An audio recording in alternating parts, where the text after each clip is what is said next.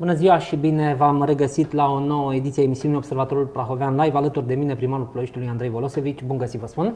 Bună ziua, bine ați venit, că de data asta sunt eu gazda, ca să spun așa. În primul rând, la mulți ani, sunteți unul dintre sărbătoriții Mulțumesc, zilei. Mulțumesc, doresc asemenea tuturor uh, celor care au acest nume, Andrei, Andreea, să fie sănătoși, să fie protejați și la mulți ani tuturor. Intrăm direct în, uh, în subiect. Uh, Vă aștept întrebările uh, sub forma de comentarii la acest, uh, la acest live. Am primit foarte multe întrebări pentru primarul Ploieștiului și uh, până acum, după ce am anunțat această emisiune, o să încercăm să le transmitem cât mai multe dintre acestea.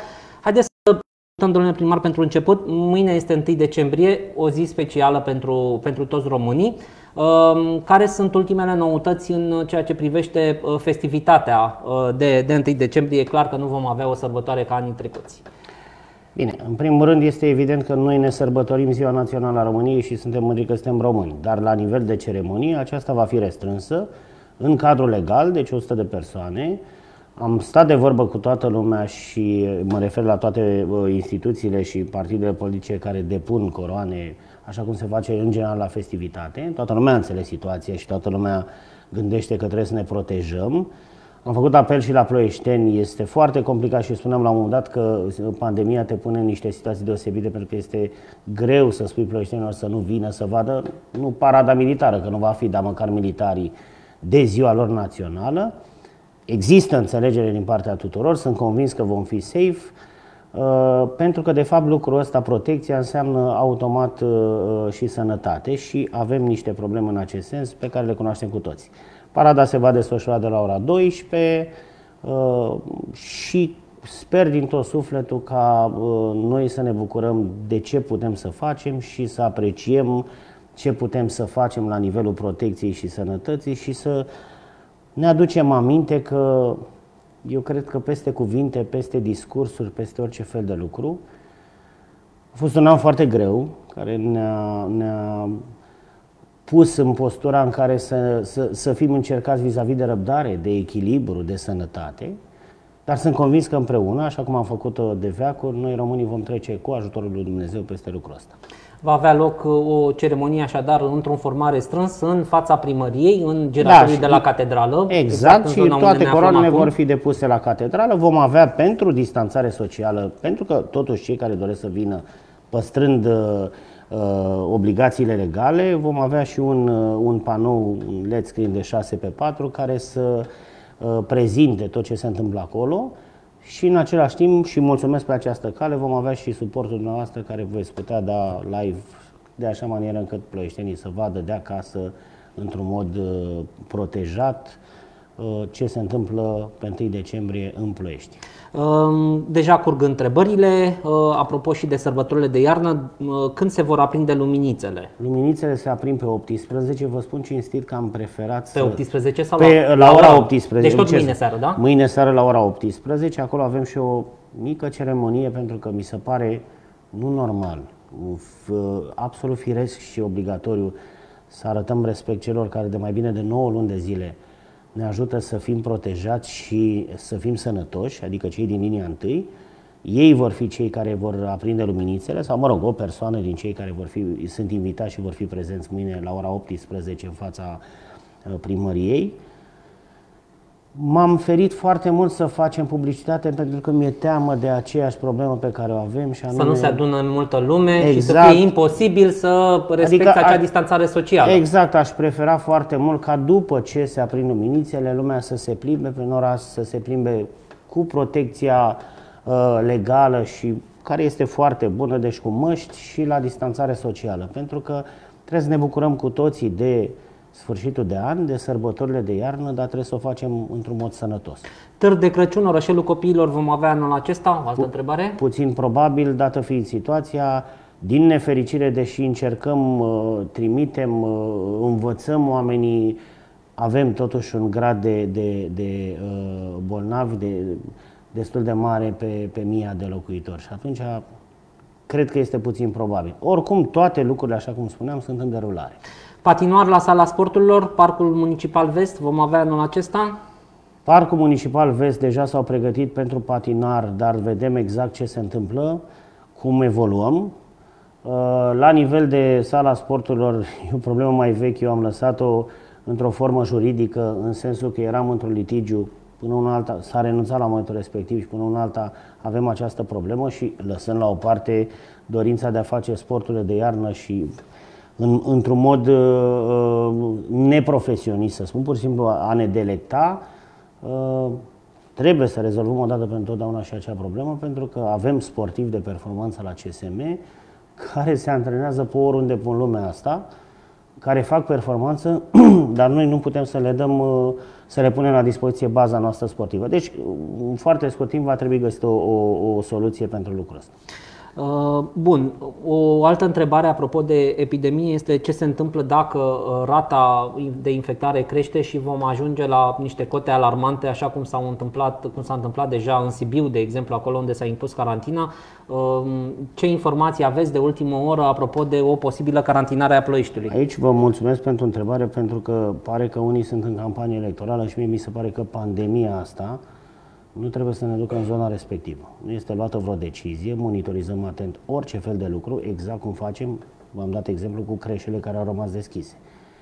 Dar, bun, soluțiile sunt sau uh, variantele sunt uh, cele două, carantinăm sau nu orașul. Însă am auzit că uh, săptămâna viitoare, spunea un candidat, uh, adică săptămâna asta vom carantina orașul, nu, Că după șase o să-l carantineze, că de trebuie să treacă alegerile, nu. Ce vă pot spune foarte clar ploieștenilor este că în momentul ăsta monitorizăm, orice variantă de lucru este posibilă, dar nu există vreo dată sau vreo decizie în sensul ăsta, ca să ne lămurim clar. Bun, uh, ați avut dumneavoastră zilele trecute un uh, comunicat uh, în care atrăgeați atenția inclusiv autorităților de mediu cu privire la un episod de poluare după ce ați primit mai multe sesizări. La fel s-a întâmplat și weekendul acesta, când, la fel, cel puțin în zona de nord și localitățile limitrofe, cetățenii mm, au sesizat un miros înțepător de gaze. Vreau să vă întreb, nouă cel puțin, Uh, Garda de mediu ne-a spus că au monitorizat și că n-au fost identificate depășiri la substanțele poluatoare, deși dacă ieșeai afară din casă, te cam ustura ochii. Cum considerați dumneavoastră? Mm, Eu v-am spus că sunt foarte ferm pe lucrurile astea. Din punctul meu de vedere, pe lângă faptul că mulțumesc uh, ploieștenilor care sesizează aceste aspecte, sunt însumi un, un om care ieșim pe stradă dimineața, seara, simți că n-ai cum să nu simți mirosul sau, mă rog, un, al, un, un anumit disconfort olfactiv. olfactiv. Domnul, da. domnul primar. Da, bun. Uh, discuția este în felul următor. Uh, noi mergem pe procedurile actuale. Instantaneu am sesizat Garda de Mediu care face controlul. Este motivul pentru care o spuneam că trebuie să modificăm legea, să dăm mult mai multă forță autorității locale, de așa manieră încât să-și facă prin propriile instituții, instituții controlul, sau mă rog, departamente controlul și să aibă măsurile de rigoare. Că, vedeți, ne plimbăm așa dintr-o parte în alta, cert este că în oraș avem un disconfort olfactiv, ca să nu spun că miroase. Da. Da, complicat. Um, Dar ușor de realizat prin modificarea legii și prin mult mai multă forță dată autorităților locale. Mă refer la Consiliul Județean și la Consiliul Local. De fapt, la primărie și la Consiliul Județean, care să poată să aibă măsuri imediate și nu să roage de alte instituții. Ce se întâmplă cu conducerile societăților din subordinea Consiliului Local? Mă refer aici la TCE, Hale și Piețe, SGU, CSM, dacă uh, vor rămâne pe, pe funcții sau uh, actualii directori Uh, care provin din veche administrație vor fi, uh, să spunem așa, schimbați. Nu are niciun fel de legătură și am spus-o și din campanie și mențin foarte clar poziția. Că ai fost în PSD, că ai fost în ALDE, că ai fost în alt partid politic, ai condus o instituție, pe mine nu mă interesează. Pe mine mă interesează să faci bine. Unu. Doi. Am avut o ședință de șapte ore joi, prin care s-au pus membrii AGA, se creează CEA-urile, se face o analiză pe asta. Deci ei sunt cei care decid atenție, monitorizez întotdeauna ce se întâmplă, vis-a-vis de modul în care și-au îndeplinit condițiile în contractul de management. Sunt nemulțumiri. Este evident că trebuie să schimbăm niște lucruri și o spuneam la nivel de SGU, pentru că hai să începem cu mai multă lume pe stradă, că vedeți că se poate să facem curățenii, mai multă lume pe spații verzi, mai rapid uh, onorate cererile de, de toaletări de arbori, decât să stăm cu o cârcă de oameni în TESA. Am spus-o și vă spun răspicat, va fi o analiză procedurală corectă și legală, nu am o problemă legată de politică câtuși de puțin, aici facem administrație, de altfel ați văzut că m-am și exprimat și mă țin de lucrul ăsta. Suntem 28 de primari, 28 de viceprimari și 28 de consilieri locali. Deci toată lumea trebuie să-și facă treaba și trebuie să-și facă treaba independent de coloratură și de opțiunea politică. Dar trebuie să avem o monitorizare mult mai atentă pe ceea ce înseamnă TESA, în ce măsură ne trebuie atât de multă TESA și în ce măsură sau da, de ce nu am merge către zona de oameni care efectiv desfășoară activități specifice fiecărei societăți subordonate Consiliului Local ca să avem un efect. Pentru că vă spun un lucru. Am cerut o analiză pe care o voi avea probabil miercuri sau joi. Cel mai probabil joi. Am deschis piețele. Este logic să păstrezi activitatea economică a unui oraș, să încerci să o păstrezi cât se poate mult, că până la urmă trebuie să ne protejăm, trebuie să fim sănătoși, dar trebuie să și mâncăm. Da? Bun. Dar avem probleme cu faptul că totuși la nivel de pază sunt foarte puțini oameni sau cel puțin solicitările SC Hale și piețe sunt mici, pentru că eu am început să am diverse uh, reclamații legate de faptul că noaptea se fură din, de pe platou halelor centrale sau de la piața Buricul, de la Văză. Buricul Ploieștiului. Da, adică... se fură uh, diverse cantități de alimente, de, sau mă rog, de ce, ce da. vând oamenii acolo, de marfa de acolo. Ori trebuie să fim un pic atenți la lucrurile astea. Eu, asta este o chestiune pe care nu trebuie neapărat să o monitorizeze primarul, deși o voi face și o fac stând numai pe stradă. Dar trebuie să fie și o reacție din partea conducerii societăților. Deci, pe scurt, așa ca să concluzionăm, o analiză corectă făcută, eu spun, maxim până la jumătatea lunii decembrie, hai să spunem maxim 20 decembrie, și cu o reacție în acest sens. Ori ne îndreptăm, ori dacă nu, asta e. Uh, PNL și USR au avut uh, un, deja un prim conflict uh, la ultima ședință de Consiliu Local fix pe una dintre aceste, un, un astfel de subiect, CSM Ploiești. S-a reproșat că PSD, PSD PNL și Pro-România Uh, au votat uh, un proiect de alocare bugetară pentru CSM Ploiești în condițiile în care nu s-a venit și cu un plan de redresare și uh, există acuzații din partea celor de la USR că la CSM sunt de exemplu 100 de angajați TESA și doar 40 de antrenori și că este o, dispro- o disproporție în cheltuirea banului public. Cum, cum răspundeți? În primul rând, nu cred că e un conflict. Cred că sunt opinii diferite manifestate în Consiliul Local. Doi, de mai bine de trei luni de zile, să spunem, de când suntem în campanie pe locale și, până, și pe parlamentare, noi am arătat că PNL-ul nu este interesat să facă politică. Pentru că să știți că am fi putut să avem o reacție foarte simplă la nivelul Consiliului Local. Discuția este să ai un echilibru și să vezi foarte clar care sunt soluțiile de moment, după care evident să ai și reacții. Parțial, sau mă rog, într-o proporție destul de mare, așa cum am și spus-o în Consiliul Local, prin intervenția în Consiliul Local am aceeași opinie. Acolo trebuie o monitorizare. Am promis că vin cu un plan de, de redresare și de, uh, să spunem, hai să mai reducem din TESA, dar și de monitorizare financiară. Însă, nu știu, probabil mai puțin versați și interesați de partea asta de administrație, colegii noștri de la OSR și-au cam făcut campanie și cam atât. Eu îi respect, cea mai bună dovadă este că în rest uh, toate proiectele de hotărâre au trecut uh, prin această alianță ce există, cum respect și opiniile diferite între partide vis-a-vis de o anumită situație administrativă. Dar cred că o spun și o spun mereu apăsat, hai să facem administrație, să ieșim din anumit, într-un anumit impas și după care vom căuta și vinovații și vom vedea ce avem de făcut. O altă problemă ridicată de foarte mulți cititori uh, este cea a parcărilor. Uh, dacă aveți în vedere amenajarea, așa cum s-a întâmplat în mandatul trecut, uh, pe care l-ați avut în perioada 2008-2012, în multe cartiere au fost amenajate locuri noi de parcare, dacă se vor face din nou astfel de, de locuri noi de parcare și dacă aveți în în vedere o altă măsură pentru eliberarea zeci, poate sute de locuri de parcare în zona rezidențială, mai ales la blocuri, uh, acele rable uh, abandonate pe domeniul public care ocupă efectiv degeaba locurile, locurile de parcare ale celorlalți locatari. Sunt trei direcții de care trebuie să discutăm aici.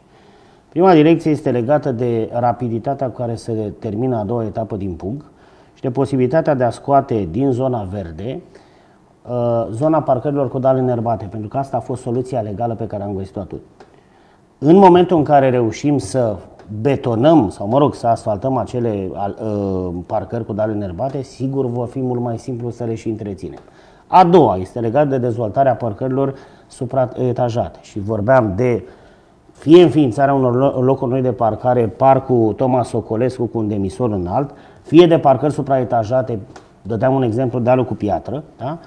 Al treia, a treia uh, direcție este legată de uh, dorința ca în ședința din decembrie, unu, să găsim formula printr-o informare în fața Consiliului Local și să stabilim o anumită zonă, cea mai aglomerată din Ploiești sau una din cele mai aglomerate, unde să vedem în ce măsură poate funcționa practic, nu teoretic pe hârtie, pe birouri, regulamentul de uh, parcări. Și a doua este legată de faptul că voi iniția din nou proiectul care era pus în practică în 2011 și anume că tot ce înseamnă mașini peste 3,5 tone, că vorbim de microbuze, de camioane, de autobuze și restul, nu vor mai intra în Ploiești. Bun, poate și atunci se vor crea mai multe locuri de parcare. Uh, poate găsiți o soluție pentru terenele virane unde se aruncă uh, gunoaie și care au devenit adevărate focare de infecție. Sunt o grămadă de puncte negre, așa cum mi se spune uh, în, în Ploiești. Degeaba vin cei de la Rosal, ridică gunoiul dacă a doua zi în zona respectivă răsar din nou munți de gunoaie. Am și publicat câteva articole. Domnul Nica e mai temă. groaznic decât atât și o să vă explic de ce. De ce am stat de vorbă foarte mult și sunt proiectele parlamentarilor noștri și de ce am nevoie de parlamentarii PNL, pentru că noi de fapt plătim de două ori. Găurile negre, care sunt puse la marginea, sau mă rog, la colțul străzii, obligatoriu le ridici. Și le ridici și din banii ploieștenilor. Pe de altă parte, în conformitate cu prevederile legale în momentul ăsta, tu mai plătești odată că unii nu și-au făcut contract. Și vine operatorul de salubritate și spune, 1. Dau un exemplu, vă rog să mă scuzați. Marius Nica nu are contract, deci plătești pentru el din bugetul public. În plus, Marius Nica, logic, trăind în o viață normală, produce gunoi pe care lasă la colțul străzii, Corect. iar eu am obligația să ridic, deci plătesc de două ori pentru Marius Nic. Da. Lucrurile astea trebuie rezolvate, în primul rând, la nivel legal și ca să le rezolv, că toată lumea pe discuția asta fiecare va veni să spună, păi poliția locală. Păi atenție, păi și poliția locală, și o spuneam obsesiv, trebuie să aibă o modificare în ceea ce înseamnă probatoriu privind uh, contravenții.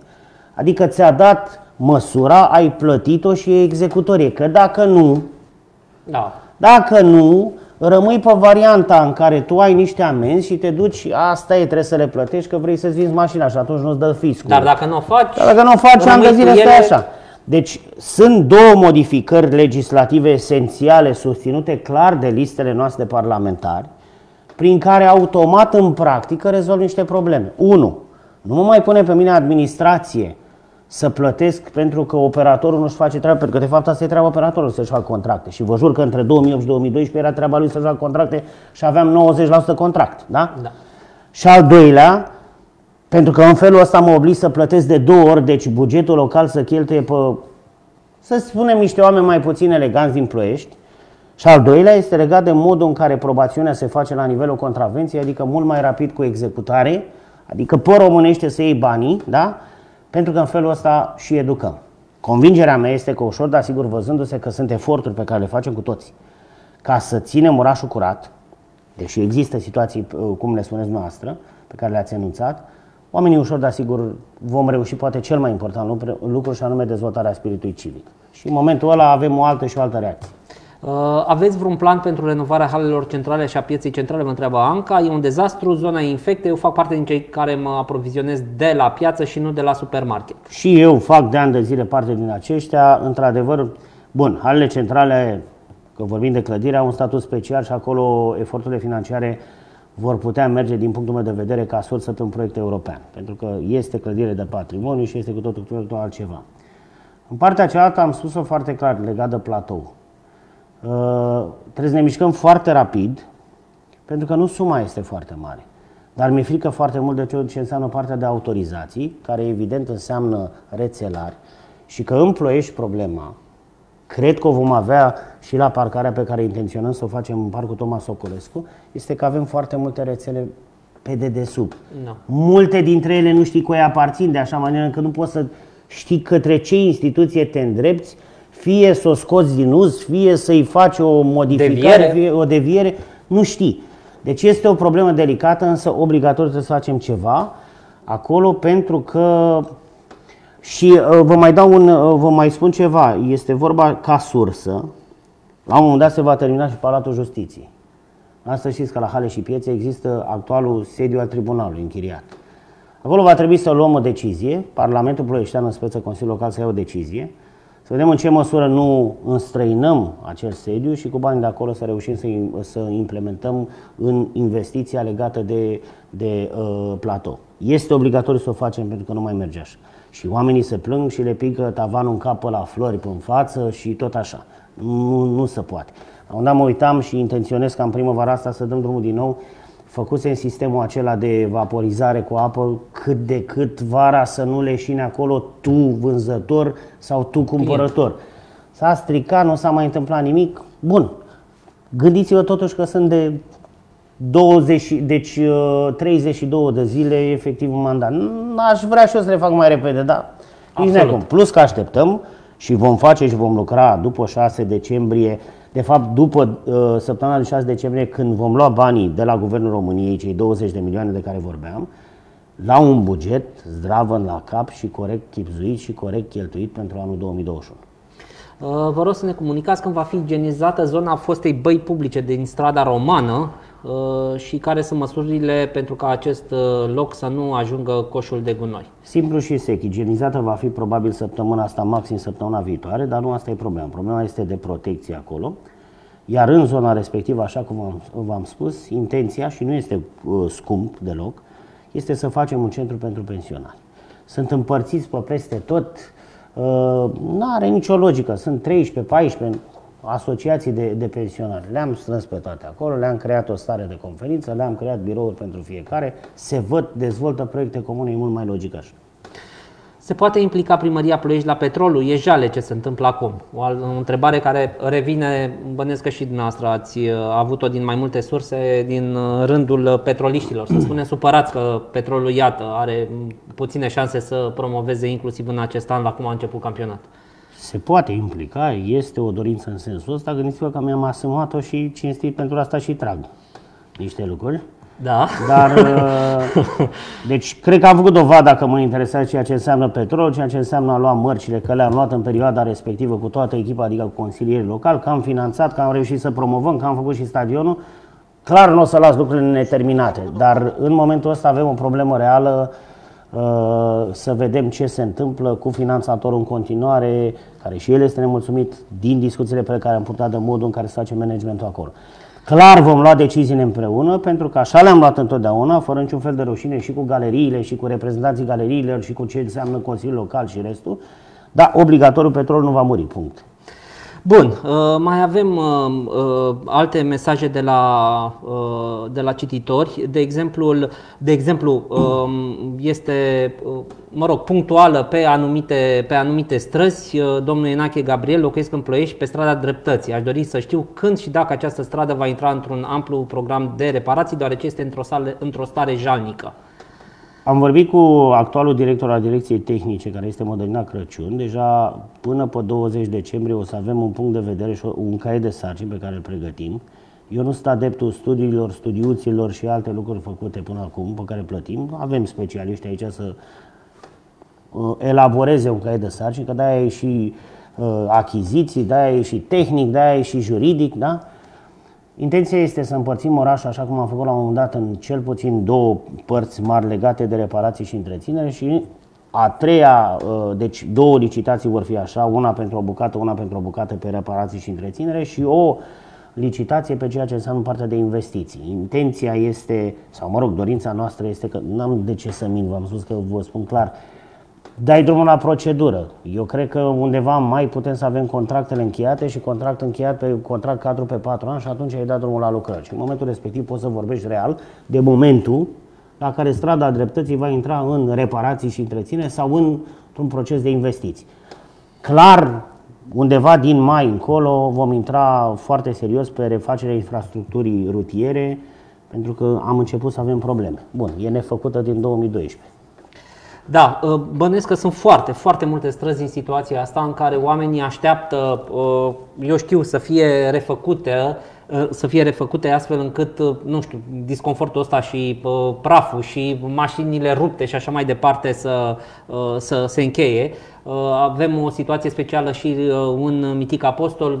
Bănuiesc că ați primit acea scrisoare deschisă din partea locuitorilor din Mitic Apostol. Ați prezentat în nenumărate rânduri cam care sunt planurile de acolo. Să sperăm că, nu știu, de la începând din primăvară, oamenii respectivi vor și vedea că se întâmplă lucruri, pentru că trebuie să fim cinstiți, au fost mințiți efectiv în ultimii, în ultimii Haide, ani. Haideți să vă spun care este punctul meu de vedere. Tocmai de asta eu am vorbit foarte puțin despre anumite lucruri pentru că mie mi se pare că Spre exemplu, oamenii din Mitica Apostol, dacă te duci și le spui acum mai începi, ar putea să zic, hai mă, mă, lași.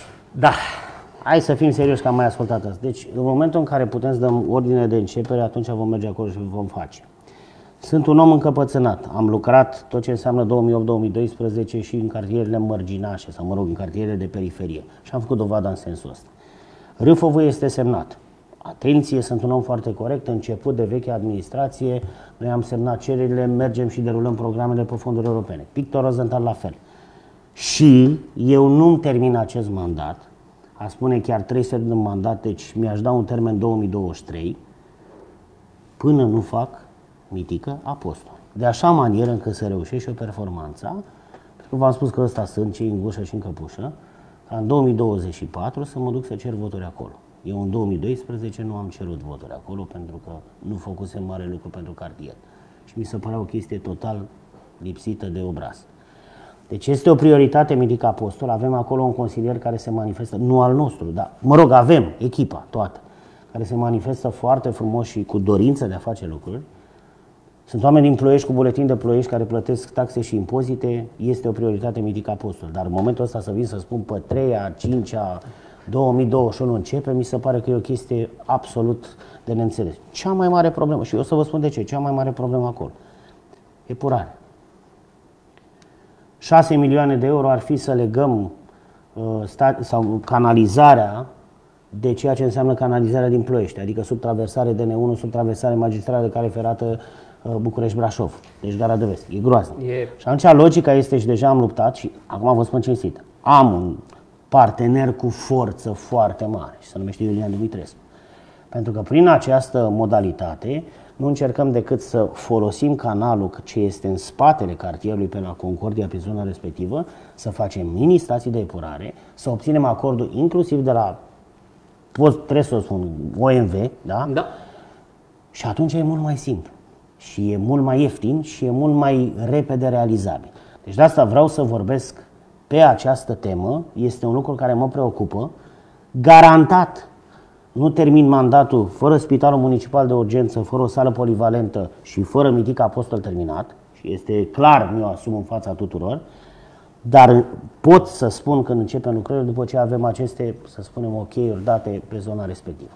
Este o ediție de promovare electorală. Duminică, pe 6 decembrie, ploieștenii sunt uh, așteptați la vot. Uh, care este mesajul dumneavoastră uh, pentru cei pe care îi așteptați la urne în condițiile în care să spunem așa, acum două luni v-au dat votul, votul de încredere atât pentru dumneavoastră cât și pentru, să spunem, Uh, majoritatea din, uh, din Consiliul Local pe care uh, o aveți. E adevărat, într-o alianță politică, însă PNL a câștigat alegerile locale. Nu, noi n-am fost la Ploiești în alianță politică. Unu, doi.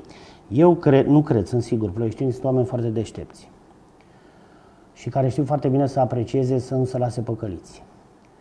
Eu cred că, pe orice logică și raționament, toată lumea își închipe că și PNL-ul are un, un PR, nu? Și cred că toată lumea și închipuie că în momentul în care s-au luat niște măsuri, care nu sunt neapărat uh, foarte ok social, dar erau obligatorii pentru a ne proteja sănătatea, au mers sau și-au dat seama de un guvern care este responsabil.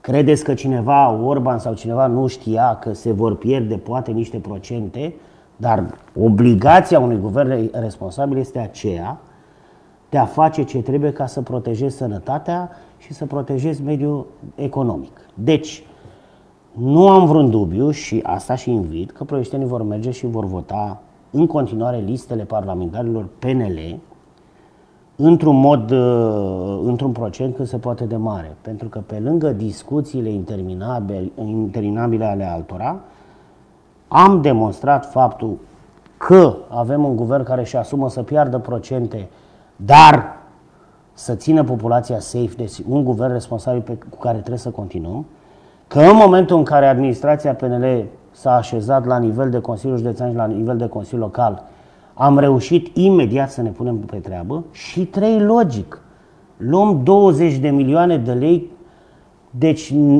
ieșim dintr-un anumit impas financiar cu ajutorul unui guvern PNL. Logic, voi face pe CNI, Spitalul Municipal de Urgență, deci investiții foarte mari, cu ajutorul unui guvern PNL.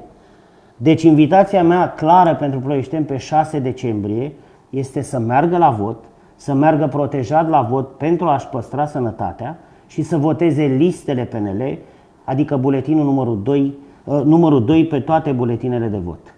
Vă invit să mergeți la vot, eu clar votez PNL. Cu acest uh, mesaj uh, încheiem aici emisiunea Observatorul Prahovean Live. Mă revăd cu dumneavoastră miercuri de la aceeași oră. Până atunci vă spun toate cele bune.